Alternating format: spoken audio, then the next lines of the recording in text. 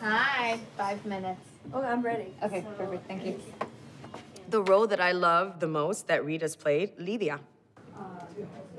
Oh. oh my gosh. I love that character because you get every bit of her. Okay, here we go, guys.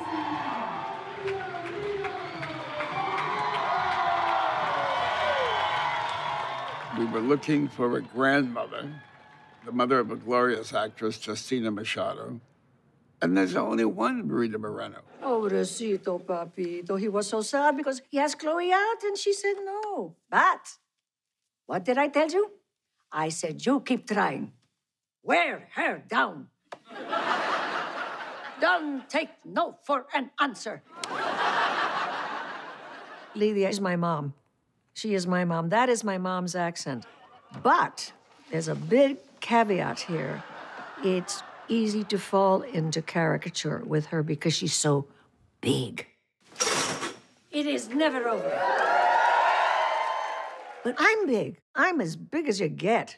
I may be petite, but I am big. That's me. But you have to be so careful with a character like that. The stereotype comes from how others tell our story. I'm interested in how we tell our story. We're always they're they're going to tell our story however they're going to tell it, and that's what it is. Um, but when we tell our story, who are we choosing to to put up on that screen? I think that's another part of the conversation.